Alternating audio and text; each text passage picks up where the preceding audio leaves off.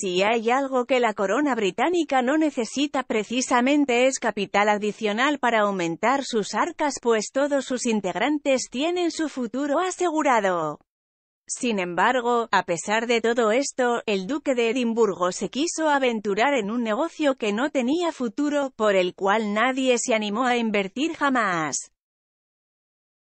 Simplemente nadie creyó en el marido de la reina Isabel, a quien veían como un loco al querer gastar dinero en una siembra que no daría frutos hasta un largo tiempo después.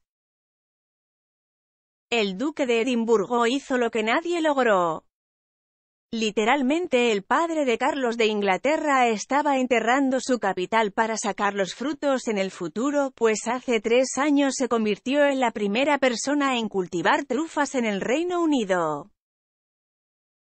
Así como se lee, el consorte británico logró lo que muchos intentaron y no pudieron, pero ya será para el 2021 cuando pueda ver los beneficios de su inversión.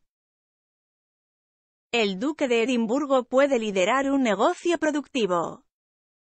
En el 2017 nadie quiso hacer esta comercialización pues tendrían que pasar cuatro años para al menos saber si dará frutos, ya que se trata de una especie que necesita de un largo tiempo que pocos agricultores tienen. Pero el abuelo del príncipe William decidió jubilarse de la vida pública precisamente en ese curso y por ende tenía la disposición necesaria para adentrarse en ese mundo. El duque de Edimburgo será quien saque provecho a esa cosecha. Este hongo es muy codiciado y podría costar hasta mil libras por kilo, según publicó la revista Vanity Fair, por lo que el duque de Edimburgo sin duda descubrió una mina de oro en sus jardines. Es un gran hito para el aristócrata de 100 años quien en el 2021 se reirá de sus críticos por adentrarse en esa operación, con la cual recuperará su capital por seguro.